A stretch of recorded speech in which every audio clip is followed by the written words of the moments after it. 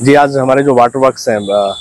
Public health department के, उनका दौरा किया गया था, जिसमें water works one two three का और जेएलएन से जो फीडिंग होती है इनलेट जो चैनल हमारी शहर में जो मेन फीडर करती है, उसका दौरा किया गया था।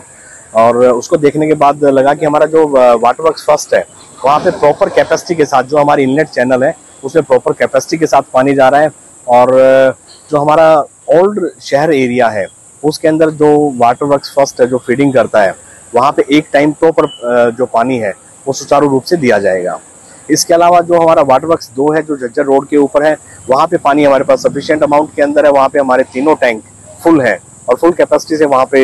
हमारा जो हमारे पंप्स हैं और जो हमारा बूस्टर है, वो चल रहा है, जिससे हमारा उस एरिया का जो पानी है, दो टाइम हम सुचारू रूप से दे रहे हैं। इसके अलावा जो हमारा तीसरा वाटर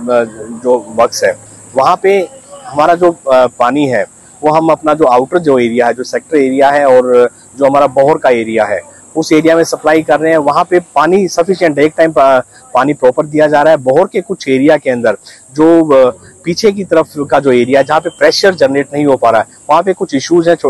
एक दो जगह गलियों के इश्यूज़ थे, उन गलियों के इश्यूज़ के रिगार्डिंग एक्शन आप पर्सनली उसको रिव्यू कर रहे हैं और जल्दी उसको रिजोल्व कर देंगे।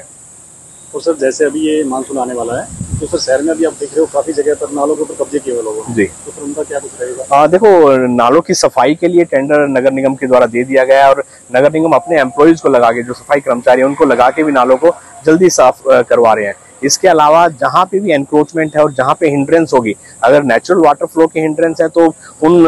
जो कब्जे हैं उनको हटवाया जाएगा और उन पे कार्रवाई की जाएगी।